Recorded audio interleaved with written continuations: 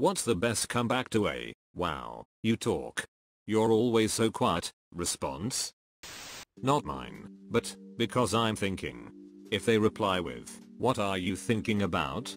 You reply back with, if I wanted to tell you I'd be talking. I have nothing to say. This is what I used to say. Then I kept getting prodded with, oh, you must have something to say, to which I replied, no, not really, I'm not a very talky person. Rinse and repeat for 10 to 20 minutes. Now I just claim I wasn't paying attention. I once teased a coworker about being quiet. His friend said, maybe he's just quiet around you because you're ducking annoying. I was humbled pretty fast. Why aren't you?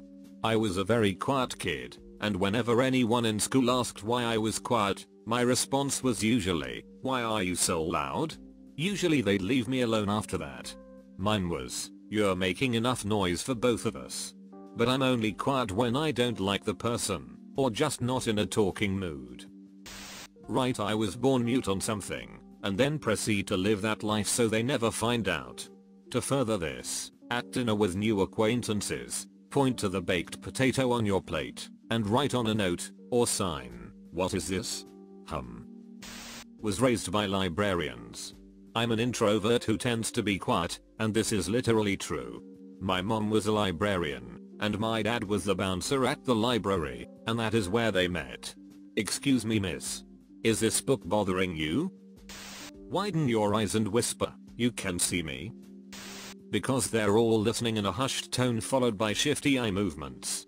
Then slowly reveal the layer of tinfoil beneath your hat. You talk enough for the both of us.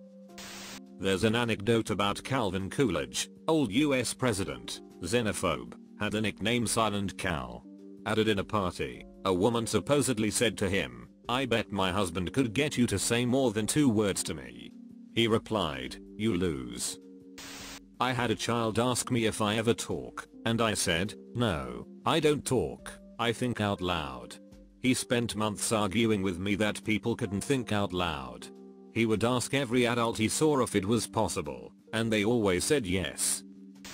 My mother would occasionally ask my father why he didn't talk more in social situations, and my father would reply. Sometimes it's better for people to wonder why you didn't say anything, than to wonder why you did.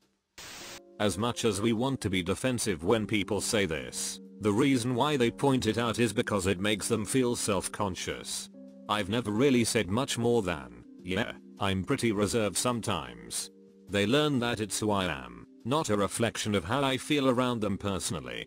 They see I've confidently owned it, and they end up respecting that. I definitely understand the frustration though. It's such an unwelcome shift of attention and this sudden pressure. Witty comebacks just read as rude sometimes though. Even though their question reads as rude to us. Care to join me? Followed by an uncomfortable stare. You should try it sometime. Jim Halpert's the camera. A 10 second stare followed by just turning away. I did this to a girl I work with because she said I smiled too much. Made me kinda bummed though, cause after she said that every time I smiled at someone, after that I wondered why the duck I was even smiling for. It really irritates me when people say that to me, but lately I've just been answering, I'm just a quiet person, and people really respect that.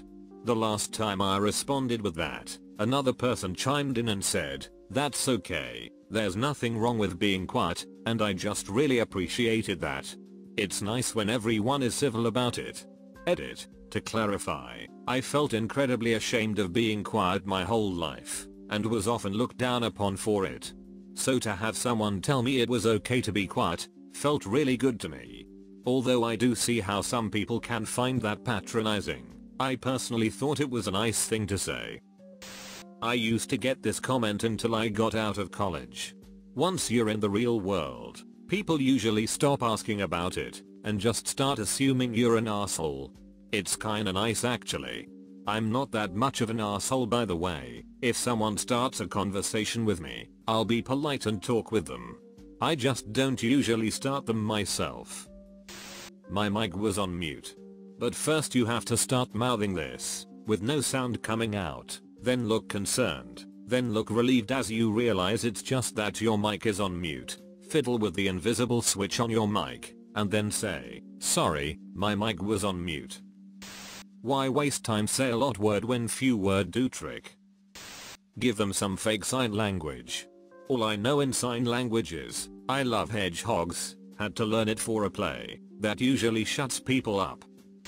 Begin by extending your tongue between your lips and imitating the sound of flatulence. When your opponent attempts to resume speaking, interrupt them with another such demonstration. This one should be louder and longer than the first, and should also involve a bug-eyed expression.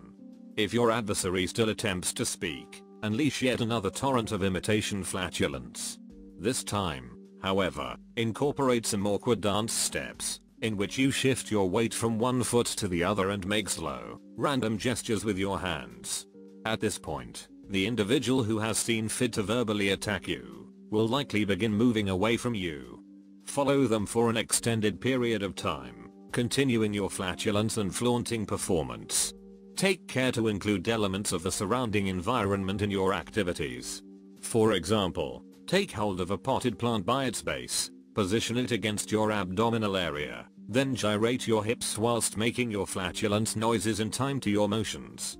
Maintain eye contact with your target throughout this process.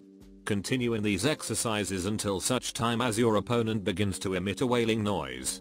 Saline fluid may also be excreted from their ocular cavities, which would be another indicator of success. TLDR, an answer offered by way of imitation flatulence. When my in-laws ask why I've been so quiet, for example at dinner, my standard response for 10 years has been, there wasn't an opportunity to get a word in. They literally seem to have one big overlapping conversation, cutting each other off at the end of every sentence and talking over each other. Active listening is not a thing in their house. I don't like to talk unless I have something worth saying. Has always served me well. It's not directly impolite, but it makes the other person stop and wonder if they're needlessly blathering. There are many witty and rude responses in this thread, which probably no socially functional person uses, but if by best you mean as improving the quality of the interaction, for me it always works, because I'm listening, or because I'm a better listener than a speaker. This always seems to get the attention directed towards me, especially since most people prefer to speak more than to listen, and now they subconsciously know that they have someone that actually listens to them. Edit, just to clarify, because I've been receiving a wide range of responses, my comment was based on my own experiences. The few times that I've received this question was either because I was introduced to a new group or because I didn't know anything about the topic at hand and adapted to my context. I don't need to be unnecessarily rude or snarky, especially when I genuinely like listening to other people. I would probably also use this when I have a lot of things on my mind, because I don't want to burden others with my problems. My initial jab at witty slash rude responses was solely based on this context.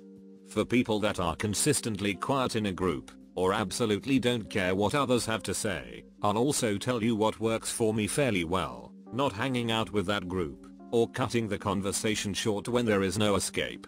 When someone asks you out of the blue why you are so quiet, even though you're hanging out by yourself, can't say it ever happened to me or seen it happen to others then it's indeed a bit intrusive and probably would warrant a rude response. I would probably ask them if they were expecting me to talk to myself. I've posted this before, but I was teasing a coworker once about being quiet, and a mutual friend of ours piped up, maybe he's just quiet around you because he doesn't ducking like you. We laughed about it, but I sure as hell don't tease people about being quiet anymore. I said this to my mom once, she had a friendship that she had grown out of, but was committed to checking in with the person via email and Christmas cards. The other person never replied, this made my mom so very indignant. All she would do is pick at her metaphorical scab of hurt of no reply, when I asked why she was trying so hard to connect with someone she didn't like that much, or why she cared about whether this person replied or not. This conversation had a recurrence of once every six months for a couple of years, until I finally said, Mom, she probably doesn't like you either, not replying is a normal reaction for people whose relationships grow apart. She hasn't complained since. I wish I could come up with some sarcastic comment on the spot when it happens, like, you talk enough for two, or, because I know how to listen. But in reality I usually just explain that I have a weak voice and am not usually hurt, therefore get talked over, so I just give up on talking in general for that conversation. I'm also really shy around people I don't know. Yeah, I guess I'm just not a chatty person. 9 times out of 10, when someone says that, it isn't a personal attack. They're just trying to make conversation, and they go for the only thing they know about you, which is that you're quiet, because you never ducking talk to people, so they can find something to talk about with you. This isn't a retort, but I've often found that when a social group considers a particular person quiet, it's often because they are not listened to or spoken over in the group conversation, so they tend to stay quiet. I have a few beautiful friendships with people considered quiet by others, simply because I engaged with them, gave them space to reply, and listened to them. From that we realized that we had cool things in common, and friendships blossomed from there. People listening to reply, not to hear and engage with what the person is actually saying, is one of our biggest shortcomings as humans. We just don't pay attention sometimes. Sorry, I don't mean to be. What would you like to talk about? While maintaining a friendly tone, as in inviting a conversation. Not sure it's the right way to respond, but it's the best I've got so far. I never know how to respond to this. It's such an idiotic statement. Maybe I'm quiet because you're so remarkably dull, that your best conversation starter is asking me why I haven't started a conversation with you?